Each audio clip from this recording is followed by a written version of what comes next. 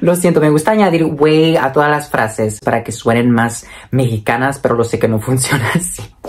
Hello, welcome back. I've always wanted to make one of those videos where I spoke all the languages that I can speak. I speak five languages, well, maybe six. You'll soon understand why. And I have made a couple of them on TikTok over the past few years, but I wanted to make a longer one. And now that I'm on YouTube, I finally can. So here we go. So this is English, of course. I started learning English at a very early age because it was one of the mandatory subjects at school. Um, and then at the age of 12, I started to get really passionate about it, mainly because I wanted to be able to understand everything that I read online, and also because I wanted to be able to understand uh, and watch movies and series in their original language, which most of the times, like 99% of the times, was English.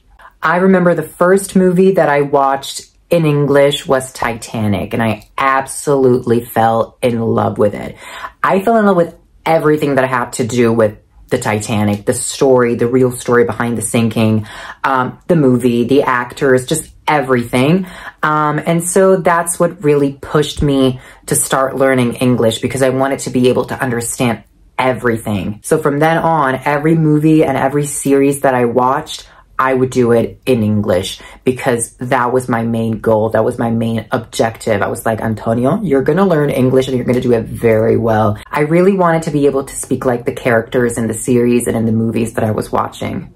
Ora passiamo all'italiano, la mia lingua materna. Ebbene sì ragazzi, sono italiano al 100%. Spesso mi viene chiesto se ho dei parenti all'estero che mi hanno insegnato l'inglese, forse negli Stati Uniti.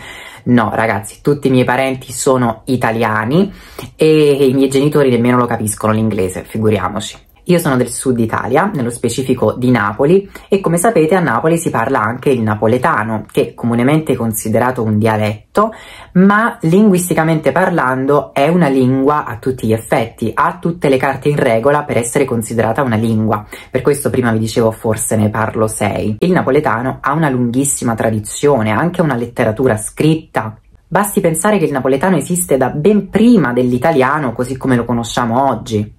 E quindi o napolitana è una lingua. Vi posso dire che ha un sacco influenza spagnola, francese, pure all'arabo ha un sacco di parole.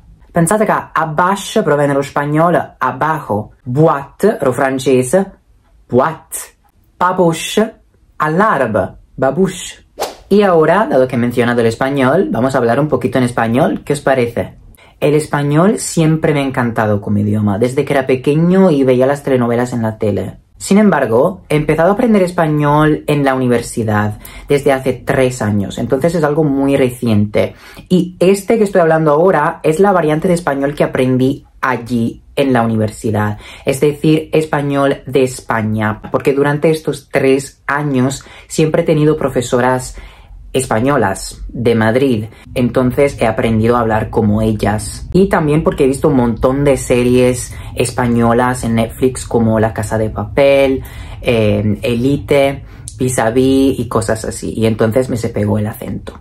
Pero bueno, ustedes me conocen y saben que a mí me gusta cambiar, me gusta experimentar, me gusta aprender cosas nuevas. Y me encantan los acentos que se pueden encontrar en todo el mundo hispanohablante. Y así, gracias a mi querida amiga Maggie, ustedes la conocen como Prof Mexican, ella es mexicana de Monterrey, estoy empezando a aprender a hablar con un acento más de Latinoamérica. O sea, quería decir mexicano, güey, pero lo siento, me gusta añadir güey a todas las frases para que suenen más mexicanas, pero lo sé que no funciona así. Estaba diciendo, eh, lo sé que no es perfecto. Este acento que estoy utilizando ahora no es, eh, o sea, no es un acento como muy reconocible y, y, eso lo sé. Estoy todavía aprendiendo la entonación y también todas las palabras diferentes que se utilizan en Latinoamérica, como carro en vez de coche. Yo eso no lo sabía. Me lo dijo Maggie cuando empezamos a, a hablar. Y me gusta, la verdad, porque car, carro, muy simple. Pero la cosa que más me encanta del acento mexicano, bueno, de todos los acentos de Latinoamérica en este caso, es pronunciar la C como si fuera S. ¡Ay, qué padre! Así no tengo que preocuparme cuando digo algo como piscina.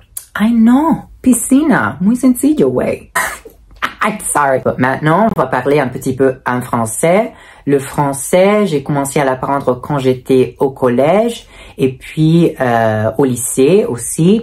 Et j'ai fait aussi un cours euh, de français à l'université parce qu'il me manquait un peu, donc je voulais euh, l'étudier comme s'il était la première fois. Donc ça fait dix ans que je parle français. Euh, mon niveau n'est pas très haut, je fais des erreurs. J'ai une certification B2, mais euh, je dois dire la chose que j'aime particulièrement de la langue française est sa prononciation. Euh, elle est très difficile, très difficile, mais très douce aussi. Quand je l'écoute, c'est comme du beurre. Je sais pas comment l'expliquer, mais vous m'avez compris. C'est comme du beurre. C'est, je l'adore.